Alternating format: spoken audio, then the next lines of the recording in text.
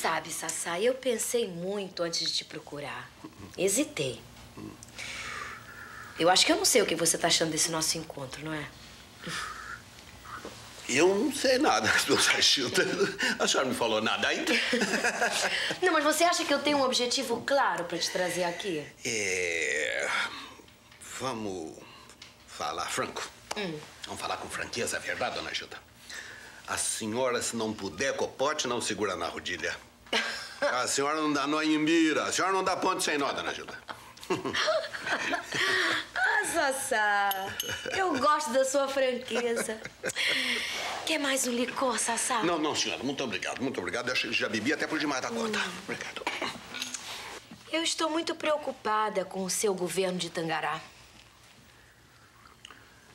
Por que, dona Gilda? Porque eu acho que você está mal assessorado. Depois que a Clotilde foi embora, você ficou abandonado. Aqueles seus assessores são incompetentes. Cada um pensa de uma maneira diferente. É como se você governasse dentro de um saco de gatos. Não, não é bem assim, não, dona. Mas é claro que é, Sassá. o Nilo Assunção não passa de um extremista.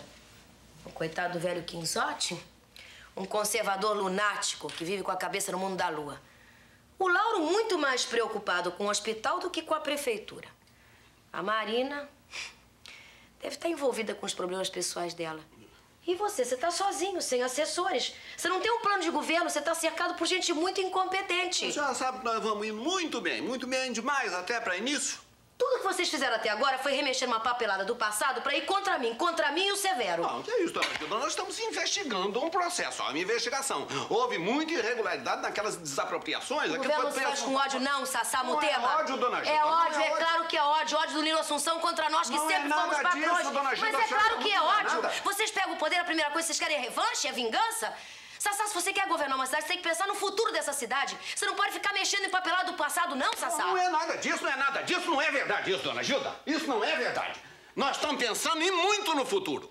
Porque o dinheiro que a gente vai ganhar com aquele processo vai servir para construir escolas novas, creches novas. Tudo isso, coisa muito boa pro povo trabalhador. Dinheiro que era do povo e que foi parar na sua Foi gibeira. pago o preço justo pela desapropriação, Sassá Mutema? Não foi, dona Gilda, não foi, dona É Gilda. ódio, tá vendo? É ódio, é ódio de classe. Não é nada disso, dona Gilda, não é nada disso. É justiça, justiça. Sassá, me perdoa, me perdoa. Eu. Eu, eu convidei você pra, pra almoçar aqui, não foi pra te ofender. Me perdoa, eu me excedi. É, tá bem, dona Gilda, eu já tenho que ir pra prefeitura. Não, Sassá, espera, por favor, não vai embora, não. Eu sou sua amiga, Sassá, eu só quero te ajudar. Eu acho que você tá muito mal cercado. Aquelas pessoas em volta de você não têm competência, elas não conhecem nada de cargos públicos. Principalmente o cargo público mais importante de uma cidade. Sassá, você não está preparado para ser prefeito. Mas eu tô aprendendo, meu Deus do céu, e eu tô aprendendo e eu acho que eu vou vencer. Mas, mas não vai embora assim, não, Sassá, por favor, eu sou sua amiga. Se você sair daqui agora assim, vai parecer que, que eu fiz um inimigo. Você é muito louco mesmo, hein? Tínhamos que inaugurar a casa nova. louco, delicioso. Você fica muito mais bonita aqui nessa casa. É?